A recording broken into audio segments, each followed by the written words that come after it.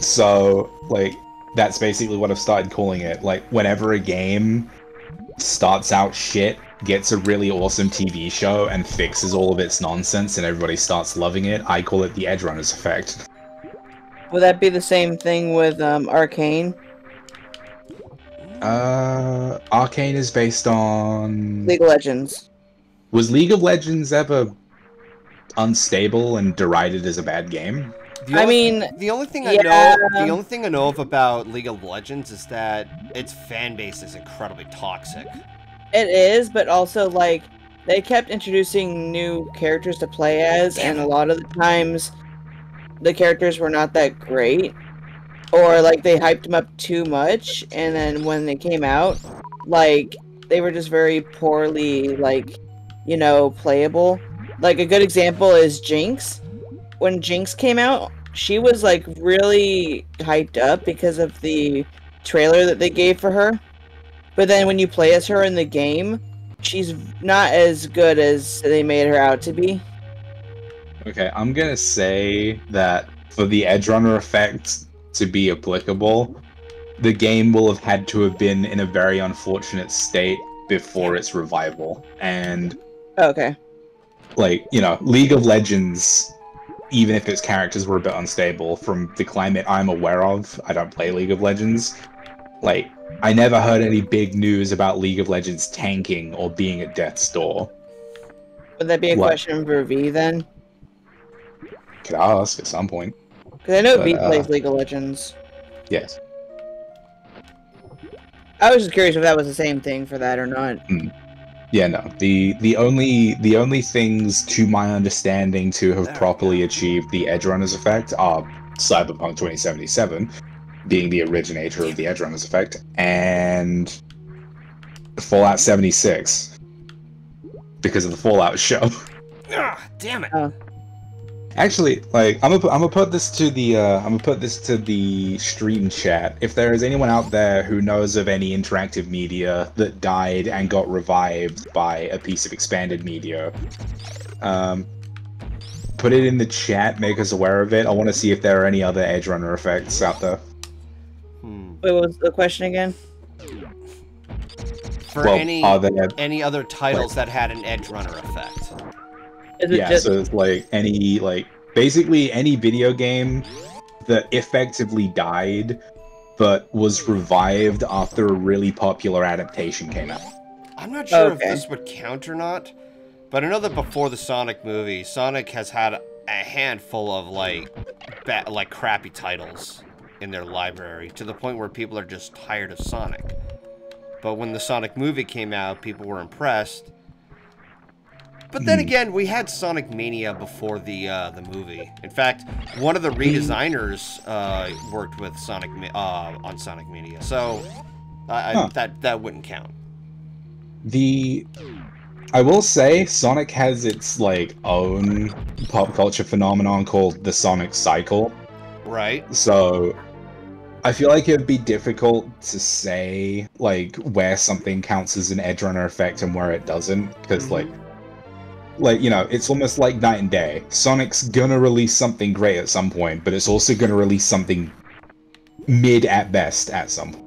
I feel like there's like an opposite effect to like like a video game that really like I, I don't want to say like got better but got worse because the show is definitely the Pokemon franchise because the newer the newer seasons and all that made Ash more stupid. Oh, I mean, from what I've seen, he starts out his adventure kinda, But like kind, kinda goofy. Like I'm Yeah. pretty sure, at one point in the beginning, he tries to use a lightning type move on a rock type twice. Yeah. And it's like I feel like that was like a example of like the show not making the game any better because then people try to do that in the game and they're like, "Oh, why is this not working?" Because Ash is stupid. I guess. that's just poor marketing. But then, like, if we're going for an anti-edge runners effect. Oh god, should I be should I be really spiteful and call it the Paramount effect? oh, I mean- Paramount Halo. well, The Sonic movies were distributed under Paramount. Ah, fuck. Never mind. Doesn't. Okay, so I'm gonna just call it the anti-edge runners effect for now, until we can find an example of like a like of the introduction of expanded media like a show that just outright killed its source material. Because I don't think we've ever properly seen that. Because Pokemon, in spite of its question, like the questionable intellect of its protagonist, Yeah, because Pokemon like, is still one of the biggest things ever. It is, yeah, it is one of the largest IPs in the world. yeah, because like I want to say that it also did it with the FNAF movie, but then again, like it's a hit or miss with that movie. It if if it was good or not. I think Because it's a good movie, not a great movie, but go ahead. Yeah, because there because there are some things in the movie that just don't make sense when you look at it from like the video game perspective and the lore. Because like I feel like, like- I, Go ahead. I, I feel like I, I feel like I want to cut through the miasma of this and just say, like, of course the lore of the FNAF movie doesn't make sense. The lore of FNAF doesn't make sense. I mean like because like if we're if we're talking about an already established franchise like like the FNAF franchise, and we this was already established before the movie came out, like Well, like- yeah, a big example of it is that we meet freaking Vanessa in the movie, and it's like, excuse me, this is supposed to But it take does- place during the first game. Why are you here? You're not supposed to be here. You're supposed to I be mean- during security breach. Well, as, is this- it? Like, is it meant to take place during the first game? I thought it was its own thing, like the I mean, books. like, I mean, but if we're looking at it from like the perspective of the of the of the animatronics and the state of the place, it's very confusing because like it makes you think like they're not withered, they're not the nightmares, they're sure not the phantoms. It's literally and they're not they're not toy animatronics. They're literally the first game. But then they keep mixing it up in the franchise and the movie. And it's like, like what what is this movie anymore? Because then they're pulling in stuff from the third movie. It's like you're confusing everyone. I like again. I'm just like my stance on FNAF has always been that, and I know this is pessimistic or cynic, and like you know, I'm calling forth the wrath of a thousand FNAF fans that I, it, oh no, I, how will I ever sleep it? Anyway, like the lore of FNAF Damn it! Is broken in a way that you can't just fix by adding more shit. Yeah. And like also, in the nicest possible way to anyone who cares about theorizing about the game and trying to make sense of it. That's cool. You're not gonna fix it yeah, by gluing everything together. In my personal opinion, that is subjective, and you are allowed to disagree with it because, much Yeah. like me, you're a human being with a soul. You can't fix FNAF's law. It was Yeah. designed to keep you invested, not to be solved. yeah. And also, Dice, we don't talk about Balloon Boy because Balloon Boy just screws everything up in the timeline. Oh, is that the that ongoing joke that just appears out of random in front of people? Yeah, that's the one thing I hated about the movie. Like, it was annoying every time I saw that stupid It wa- thing. it was funny the first time. The second time, it got really annoying really fast. And then during the It- end credits, I'm like, okay, that thing is pissing me off. Yeah, and then like the one thing that also bothered me is that it tried to take from the game, but then you got then you throw in stuff from the books, and it's like, okay, now you're trying to do two things at once here. Like again, the go.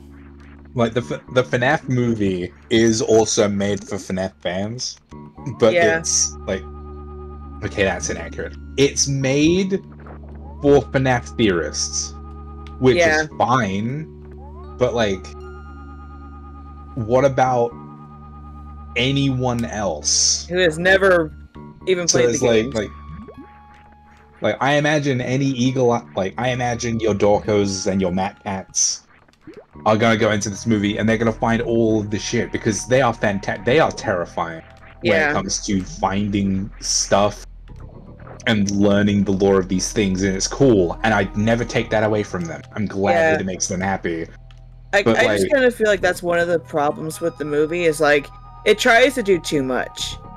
Like, sure, you're trying to fit everything like into like an hour long movie, but like, Like, you're the- trying to do too much. The FNAF. Okay, how about this? The FNAF movie is not on its own a bad product.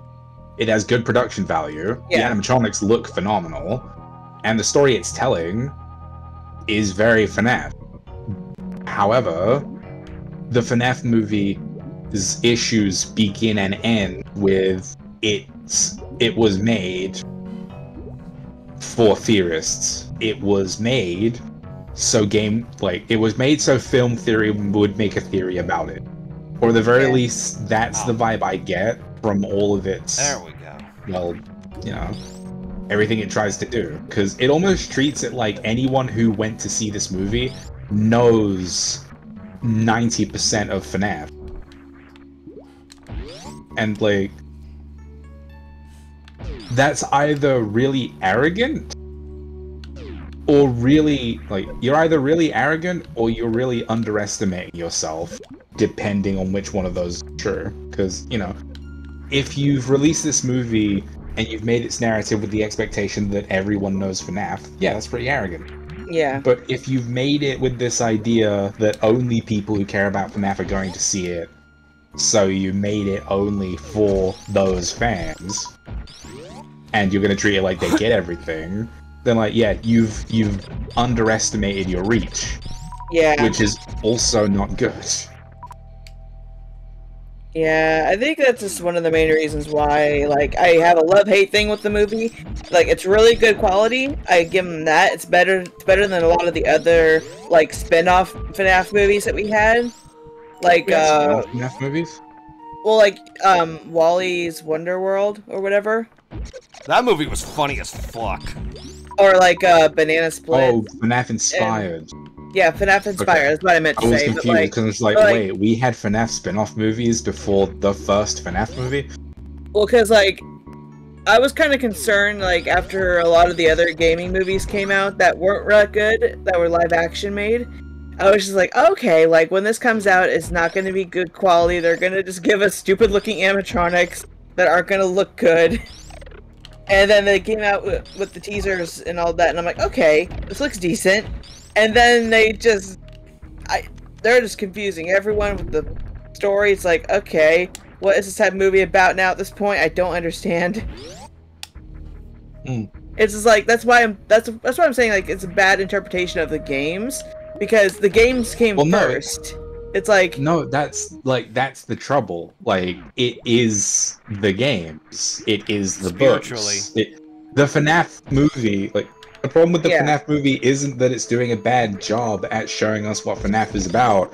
It's actually doing a very good job at showing us what FNAF is all, all about. However, it's chosen the very unfortunate route of showing us what all of FNAF is about, all at once in the same Right. movie. yeah, for like an hour. So like again, FNAF's the FNAF movie's problem isn't that it's a bad FNAF story, it's that it's a bunch of FNAF story. You know what it is? But What is it? Do you guys know about the problem with with uh Spider-Man 3, the uh the Tobey Maguire one? I have not seen the Spider-Man movies in a long time. Um, Like I there know were that- there were a lot of I know that there's a lot of there was a lot of surrounding hate behind the movie. yeah, that like there are a few reasons why Spider like Tobey why the Tobey Maguire Spider-Man 3. I'm saying this in case there's a like Right. because I remember Tom Holland has multiple ones. But yeah, the the Tobey Maguire Spider-Man 3 apparently during development like at some point someone an exec probably really wanted Venom to be part of Spider-Man 3, which apparently wasn't supposed to be a thing yet. The, the Spider-Man 3 movie was supposed to be about either Sandman or Hobgoblin. and because Venom was added some- in, it they threw Yeah, some- much. Yeah, so it's like, so yeah, it like you know it became too dense because now we have to tackle three Spider-Man narratives, and one of them is the big one, you know, the Black Spider-Man suit, Mhm. the Venom story. Yeah. Like, fucking the the archetypal Spider-Man story, but you've got to you've got to run it at the same time as Sandman and Hobgoblin when the people making the movie didn't originally want to tell oh, the Oh, I Venom know where I'm story yet. So, yeah, it's it's like it's not bad plot it's plot density like i'd say that if you take a lot of spider-man 3 in isolation and cut, trim some of the fat i believe i watched a video where someone said if spider-man 3 didn't have venom in it it would be better and like that's not because any part of it is necessarily bad or poorly told it's because it's too dense and I feel like that's the FNAF movie's problem. It's not a bad FNAF story. It's doing everything a FNAF story should do. But it's doing all of it. Yeah. Like, if Spider Man 3 was someone taking three Spider Man stories and gluing them together with, like, really shoddy adhesive, then the FNAF movie is like if I took all of Spider Man from the point he gets bitten to the point where I don't know, however Spider-Man's full character arc is supposed to fully go, with all of the shit in between it, Hobgoblin, Sandman, Venom, Doctor Octopus, Rhino, Shocker, Electro, all of that. You know what? I'm gonna go ahead and just. It's like if I- It's like if I took the equivalent of all of the Tobey Maguire, Andrew Garfield, and Tom Holland Spider-Man stories and crammed them together into one movie and expected anything to go well. Now, obviously, that's a bit extreme. If you took all of those, you get something a lot denser than the FNAF. FNAF. But like the FNAF movie itself is still narratively dense because of how much you kind of need to understand to really get it. Yeah. Because like 'Cause, like- someone who's never really played the games, if they go to see this movie, they're just gonna be like, Oh, I'm a fucking idiot. I was going backwards. Ah, there's, there's gonna be like, oh well, what's 'Cause- this, what's this about? Because I know nothing about the games or something. Actually, you know what? Let let's take like let me look at it from the objective sense of what, to my understanding, because I kind of didn't watch it, what actually happens in the FNAF movie because I've seen clips. So we get the FNAF one animatronics. We have William Afton involved, and Vanessa's also there for some reason. yeah, so that's that's so that's FNAF. So like, that's technically FNAF 2, where we're introduced to the purple guy who is William Afton, and Vanessa from Security Breach. So that's already two Yeah. additional games. yeah. And, You and also have. That, and hold let's not- you, yeah, Shuka, you let- also let you finish. have. Yeah. And you also have where William Afton gets spring trapped, which is FNAF 3. Balloon Boy's also there, which is more FNAF 2, and from what you guys have told me, Balloon Boy serves no purpose yeah, and should deactivate himself now. but uh I was gonna say there is like another part of the the franchise that no one really mentioned, and that was um they did nod at FNAF 4 a little bit, where there's like the dream, the the the the, the dream theory or the con the conscious theory of um of the um of the child from FNAF 4 because um the main character goes to like this dream state where he's trying to replay his brother getting kidnapped. oh. Yeah, so you're bringing FNAF 4 at that point too. Okay, so that's FNAF's 1 through 4 and Security Breach sprinkled in for good measure. Oh, and sister location. Let's not forget about that because they hint at Abby being related to Baby. Oh my god. And then you're bringing So- in the books. so yeah, like really dense. How like how it like imagine you're a random moviegoer going to see this weird movie about animatronics killing people slasher movie style. Only it's not about that when you actually get into it. And it's like, Yeah. oh okay, who's Michael? Who's who's Vanette? Who's William? Who's what? What is a baby? What is this tiny obnoxious balloon boy? What is happening? exactly. Ah, it's like it's narratively dense and i know again it was probably made with the expectation that FNAF fans were going to be its predominant audience but like Yeah.